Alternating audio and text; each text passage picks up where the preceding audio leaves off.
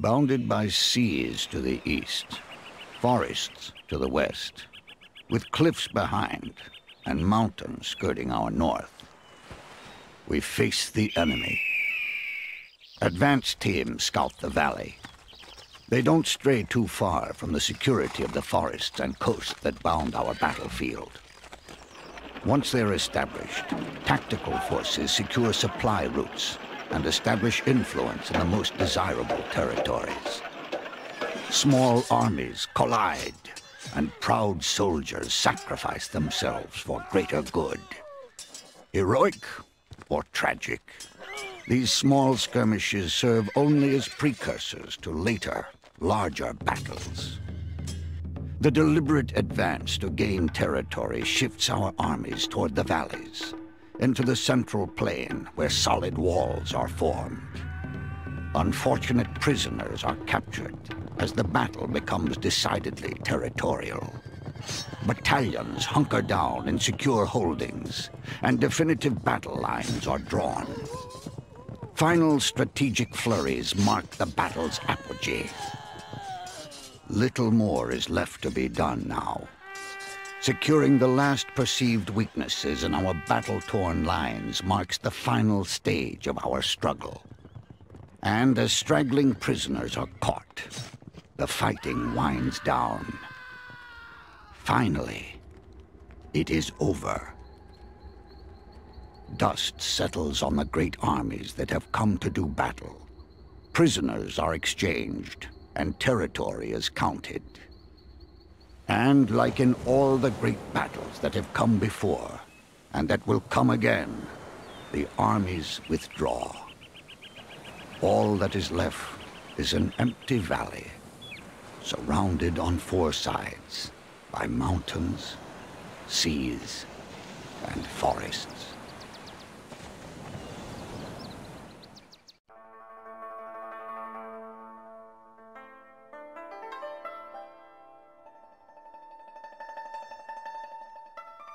Go is humanity's oldest surviving board game, with origins in ancient China. No one knows for sure how Go-Go came into being, who invented it, or why, although there are several theories. One attributes its invention to Emperor Yao, who in 2250 BC created it as a mental exercise for his shall we say, dim-witted son. Another conjecture is that a vassal of Emperor Qi invented Go, as well as several card games, for the emperor's amusement nearly 4,000 years ago. And finally, a third theory suggests that during the Zhou dynasty, court astrologers and shaman created the Go board and pieces as an aid in mapping celestial movements and predicting human affairs. Any one of these theories could be true, but in any case, the game has remained essentially unchanged for well over 3,000 and possibly up to 4,000 years. The first historical mention of Go being played in Japan actually comes from ancient Chinese chronicles. They mention that Go was a major pastime of Japanese aristocrats in the early 7th century. But like the origins of Go, no one really knows how or when it came to Japan. Go could have been brought to Japan in the 6th century by Koreans fleeing political corruption in their own country. Or it may have been imported by a high-level commission sent by Japan to China early in the 7th century.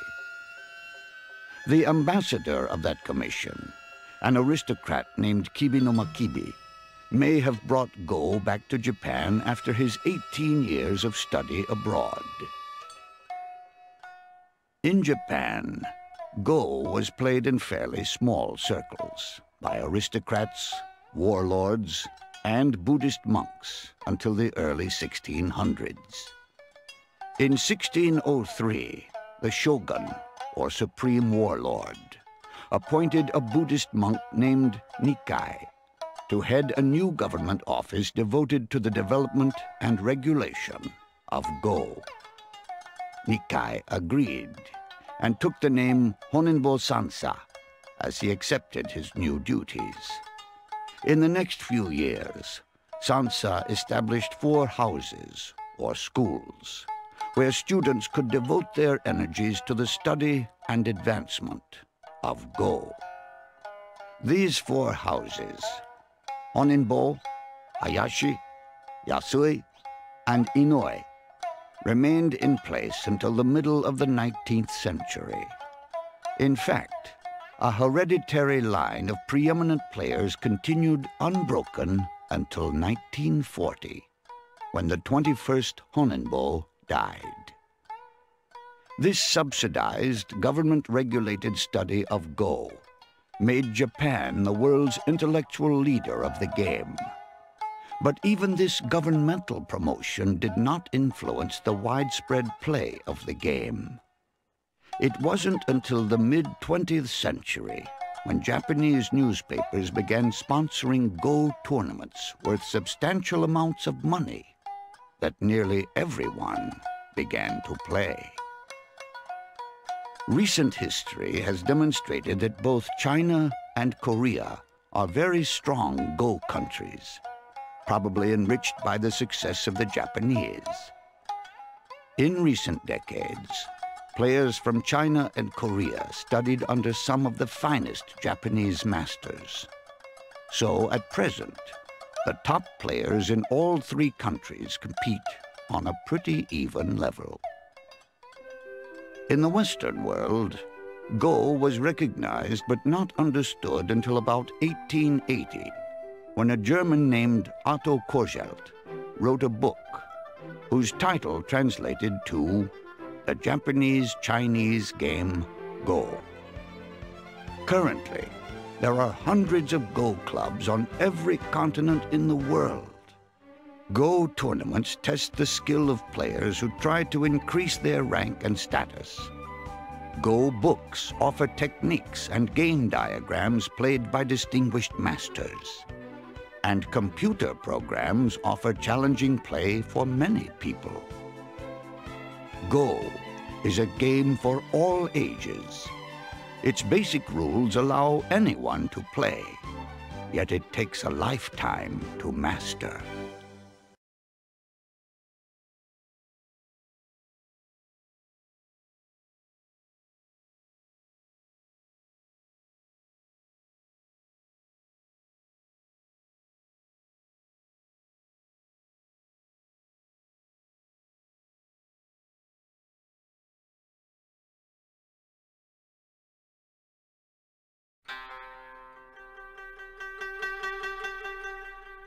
Go is a very simple game to learn.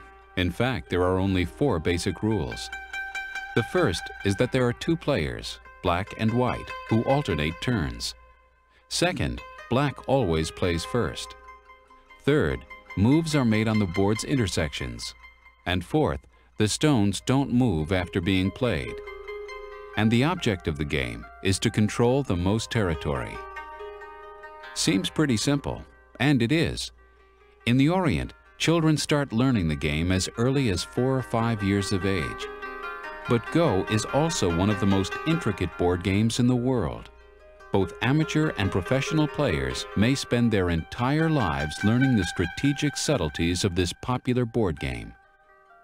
It's probably important to note that Go is played in many countries around the world, each with slight variations of the rules but that this program is based on traditional Japanese rules.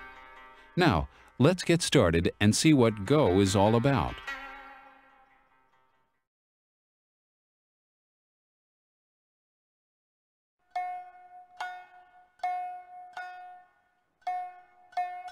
Go boards are made up of intersecting lines laid out in an even grid pattern like you see here. The standard Go board is a 19 by 19 grid, a design which has remained unchanged for centuries. But beginners can play Go on smaller grids of 13 by 13 or 9 by 9 to speed the game and reduce its complexity.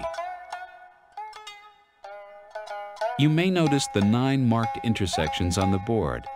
These are called star points and are used as strategic points of reference or markers for handicap stones but we'll talk more about them later.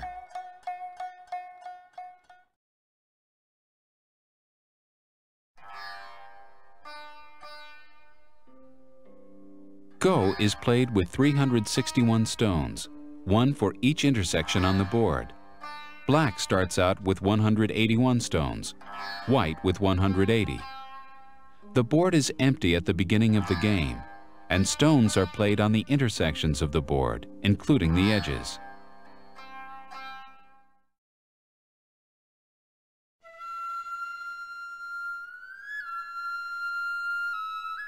White stones always go to the stronger player, black stones to the weaker, and black always plays first. Then players alternate moves, which consist of placing one stone on one intersection.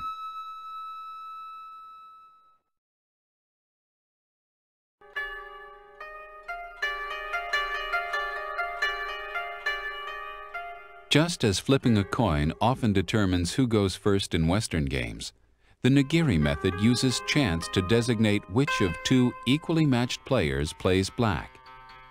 One player grabs a handful of white stones and the other player takes one or two black stones. Then both sets of stones are put on the board and counted.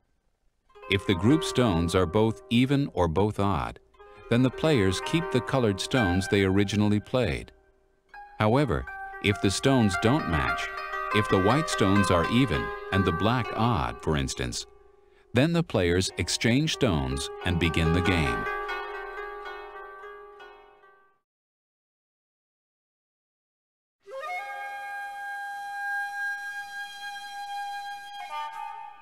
There are both amateur and professional rankings in several countries that play Go.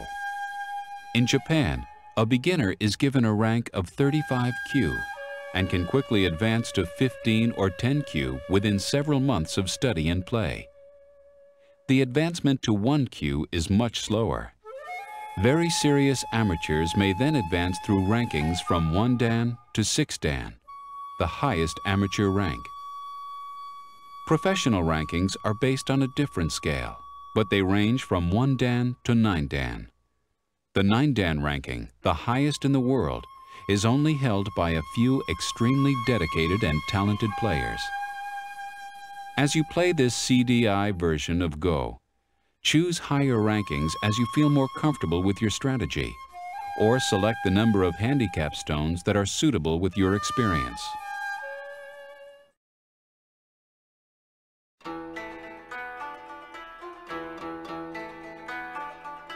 Since there is an inherent advantage in moving first, most Japanese players of equal rank add five and a half points, called komi, to white score at the end of each game.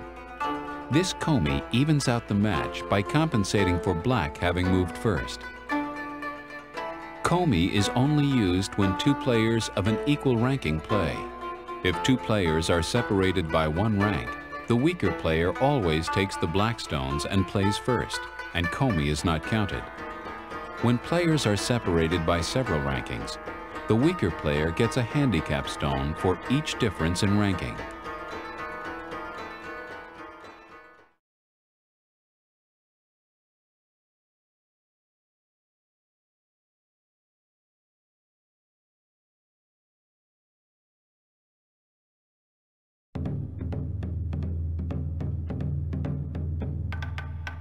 The object of Go is to control territory. This is accomplished by surrounding vacant points or intersections on the board. The winner is the player with the most territory at the end of the game. But if both players control the same number of points at the end of the game, or after the komi, the game is drawn.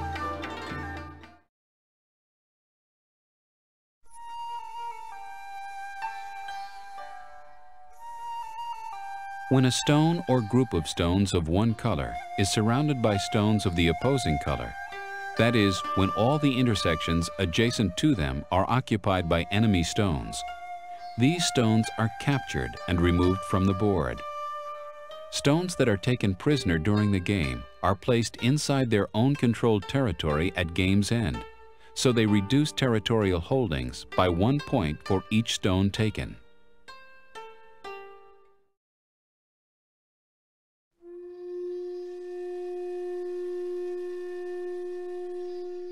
In certain situations, usually during endgame maneuvers, when playing stones offers no advantage, players may pass their turn.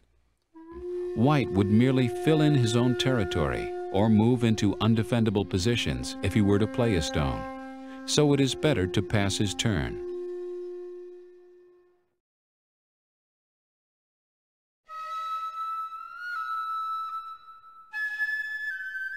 When neither player is able to capture additional territory or take more prisoners, the game ends by mutual agreement.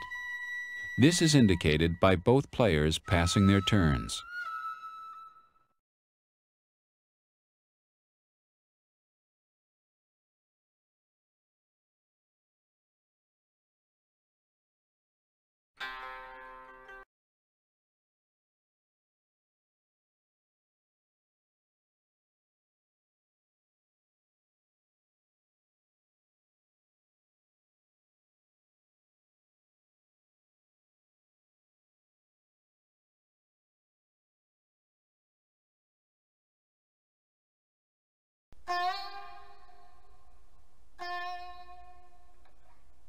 Liberties are the adjacent intersections or points to a particular stone.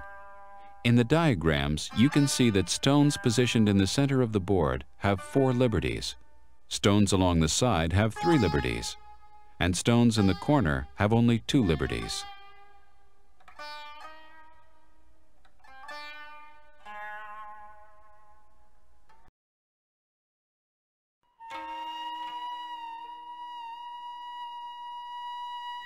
Liberties surrounded by a single color group are called internal liberties. You can see examples of them here.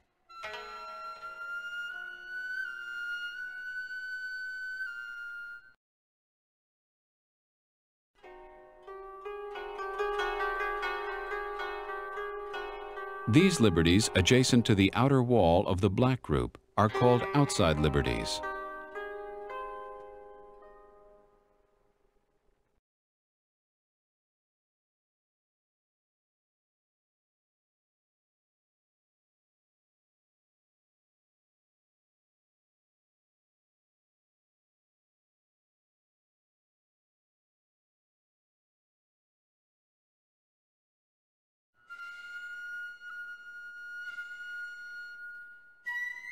To become truly comfortable with Go, novice players must overcome a mental hurdle of understanding the game's broad strategies and tactics. After a beginner grasps the basic rules and objects of Go, he can easily play and have fun. But how does he know if he's playing well? In this section, we'll try to help you out by putting the various elements of the game together. We'll talk about opening moves, developing territory, and large-scale tactics, hopefully providing a perspective that will focus what you have learned. Beyond the information provided here, reading books on Go, studying games played by masters, and playing as much as possible will hone your skills and provide you basis for a lifetime of fun.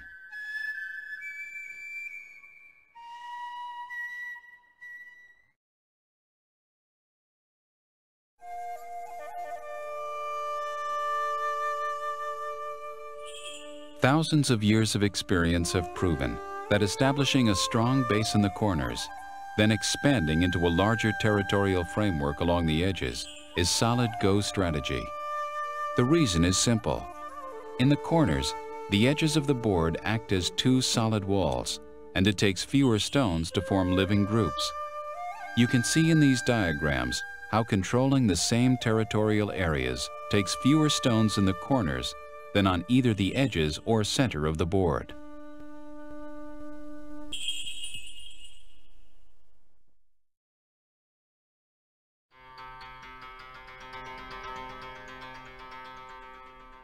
Once the opening few moves around the corner star points have been made, playing additional stones nearby does a great deal toward establishing territory.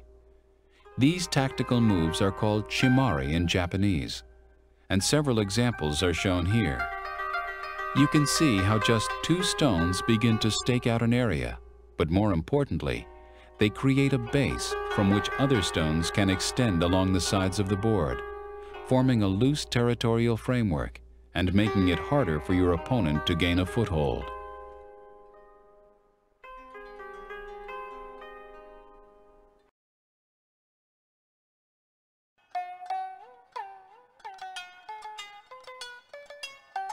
Just as countless years of experience have proven that opening corner moves and shimari are good strategy, they have outlined several extension tactics that provide both stability and security in the quest to establish territory.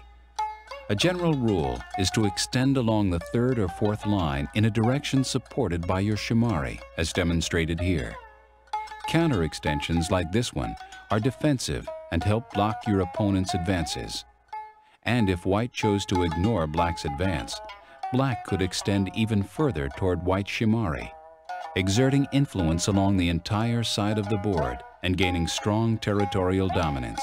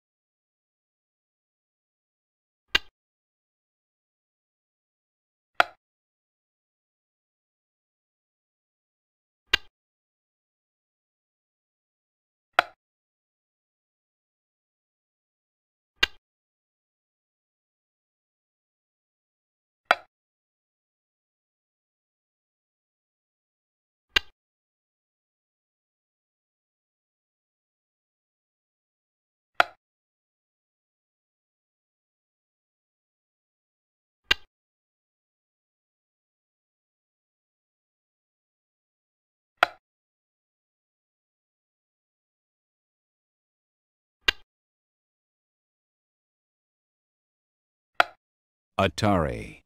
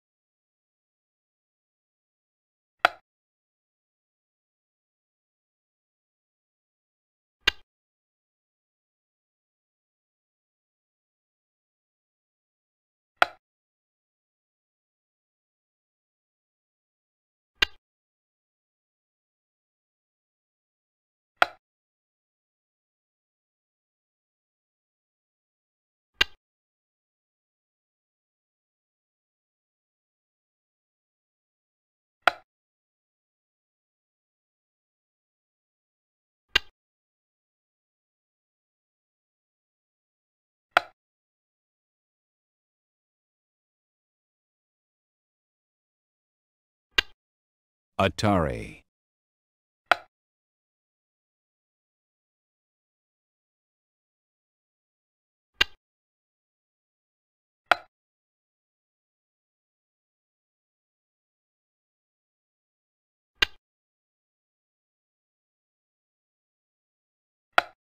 Atari.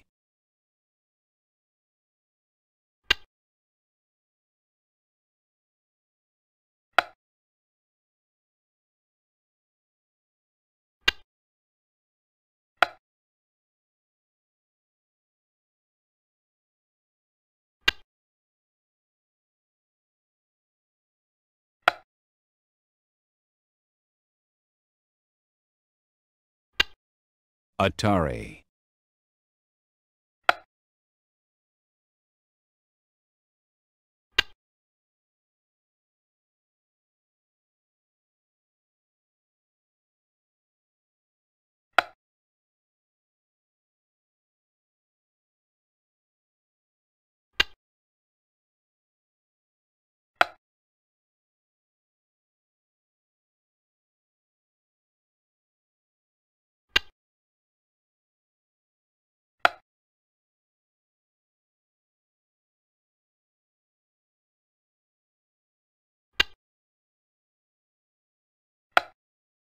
Atari.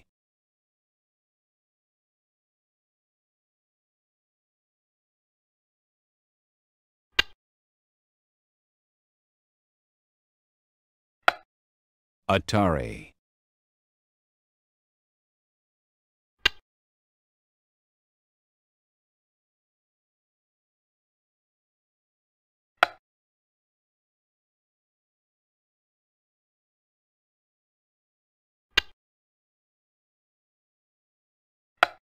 Atari.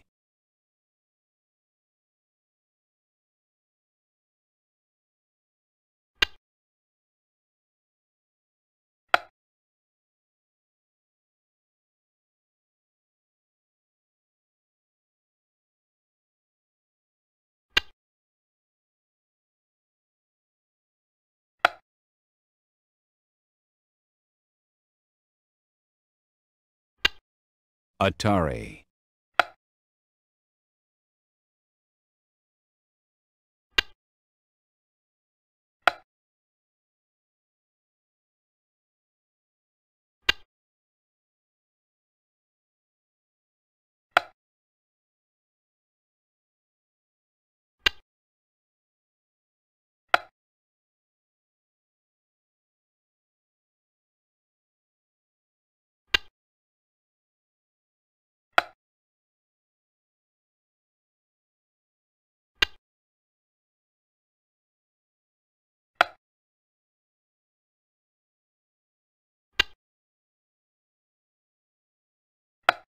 Atari.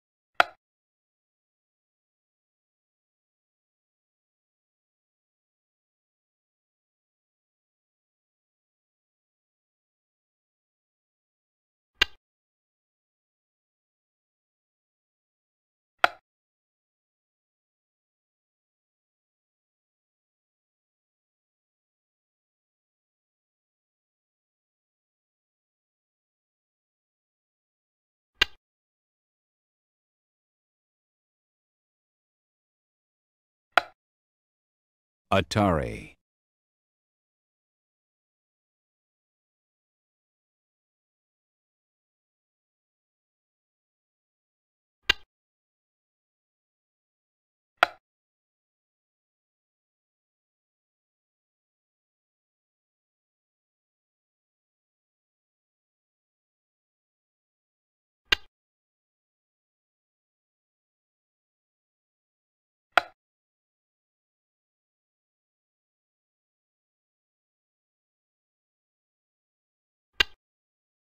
Atari.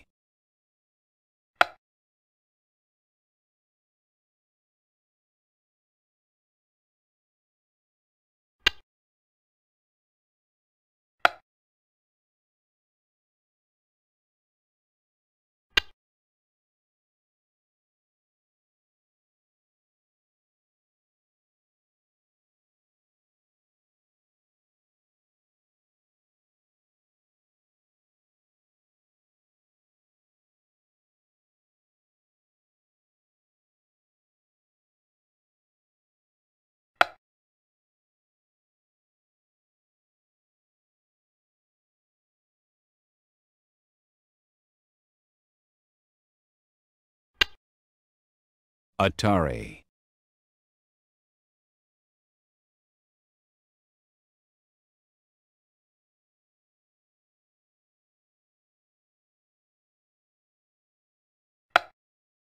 Atari.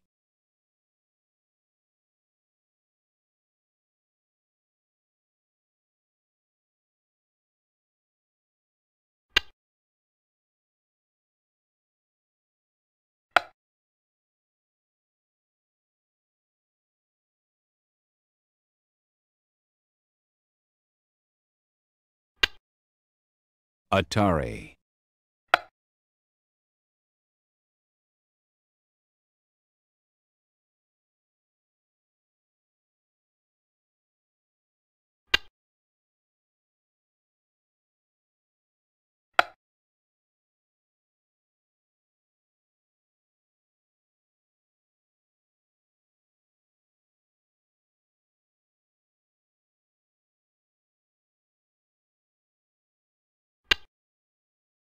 Atari.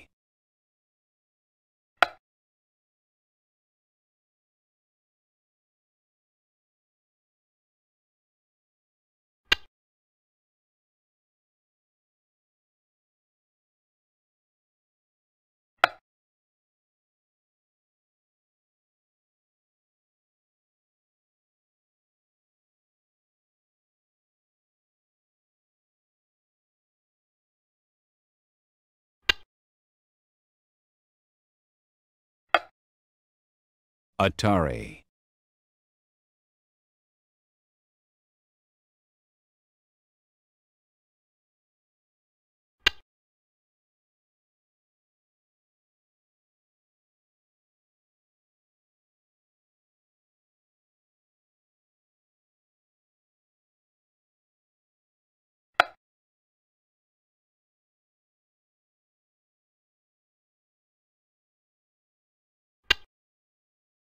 Atari. Atari.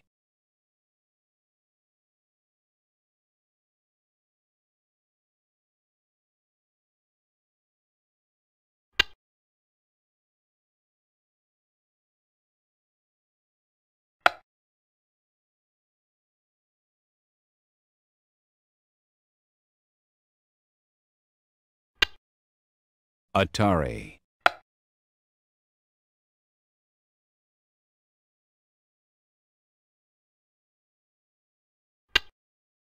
Atari.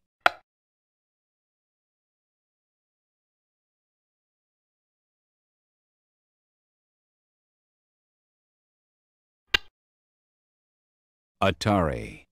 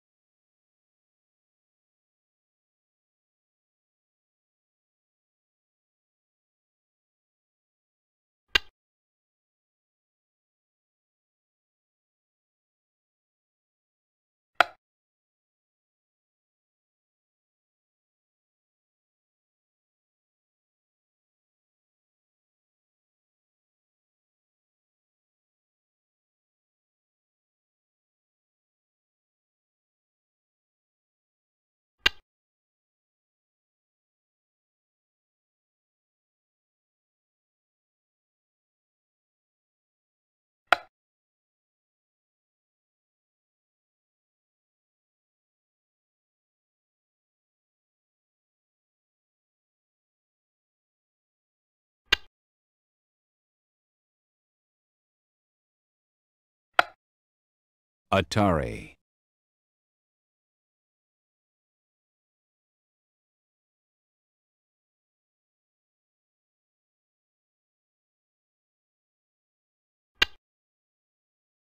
Atari.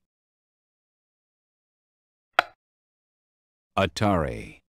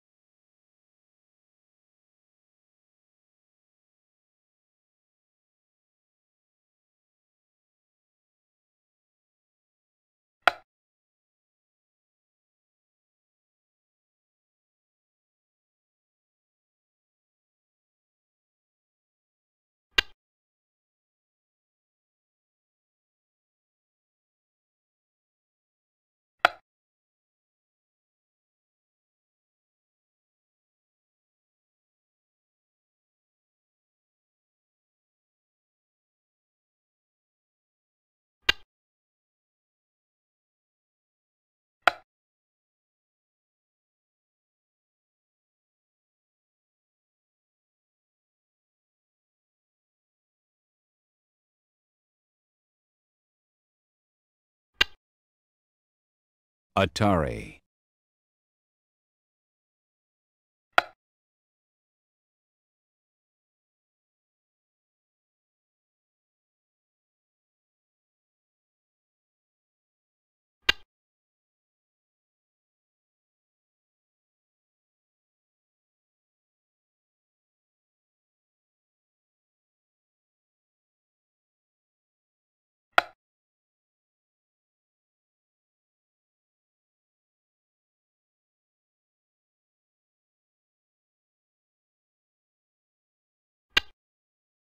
Atari.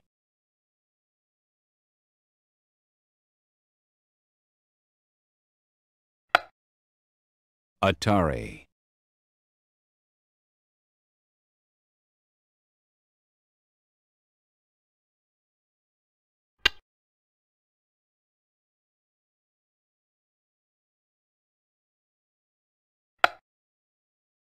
Atari.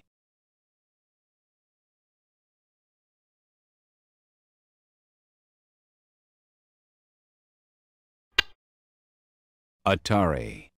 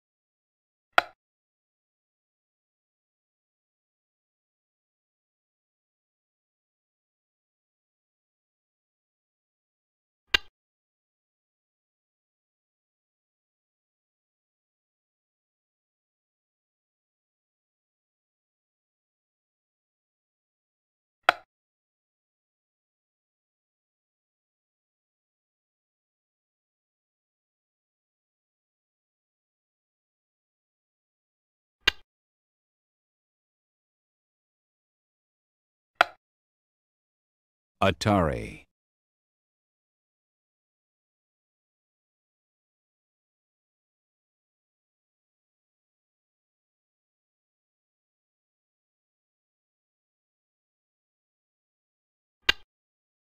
Atari.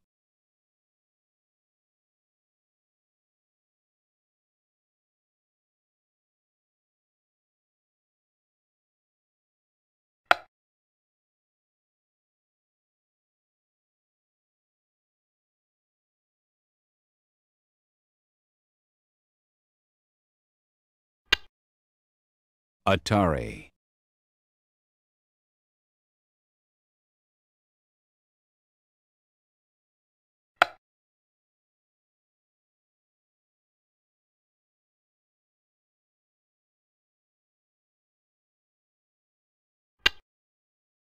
Atari.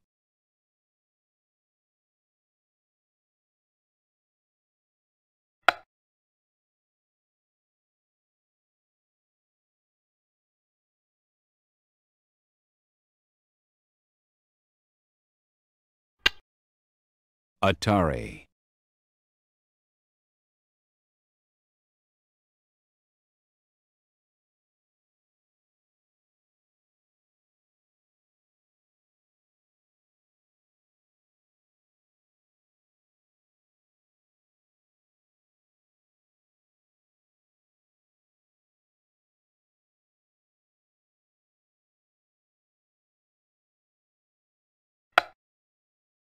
Atari.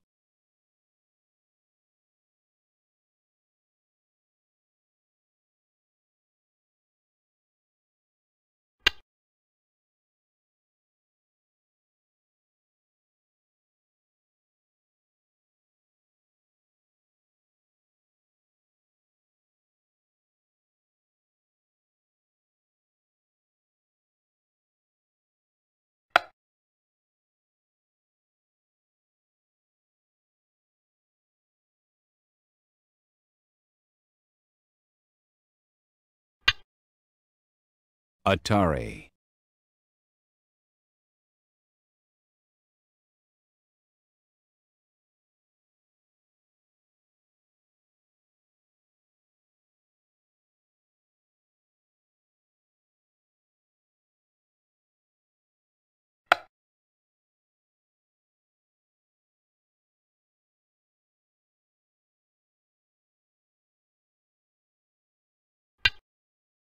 Atari.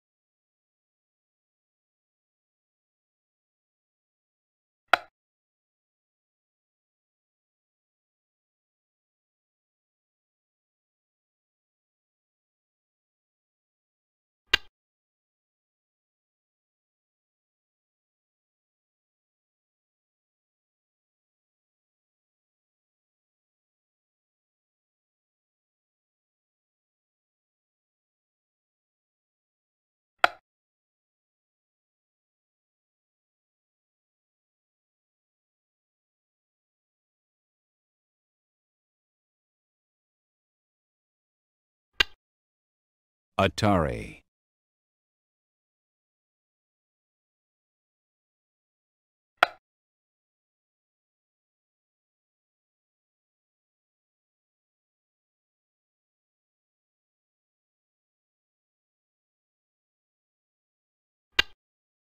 Atari.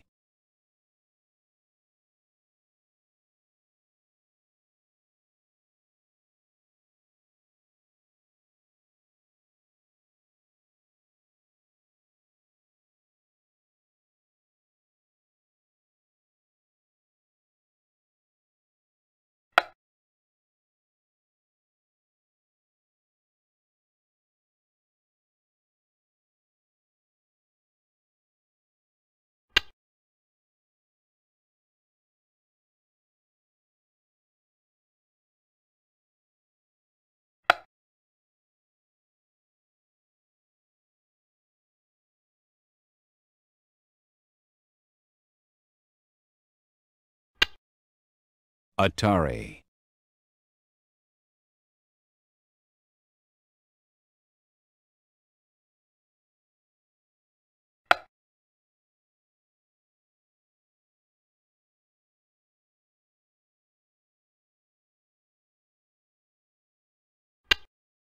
Atari.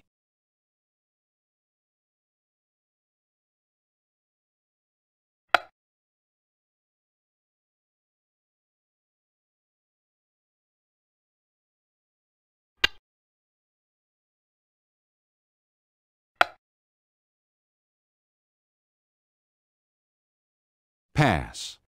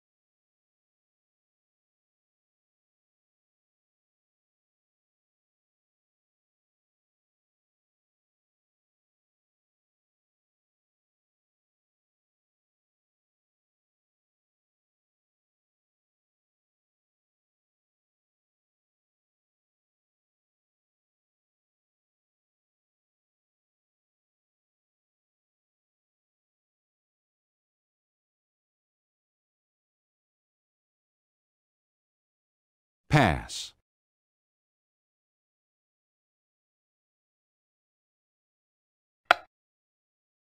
Atari.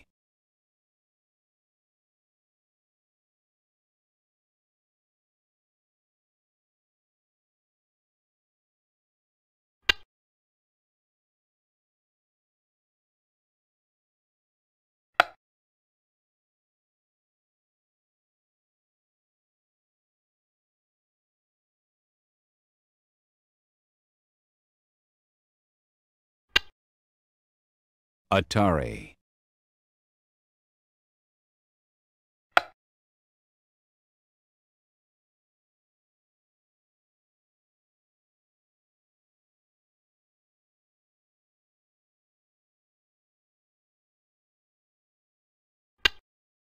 Atari.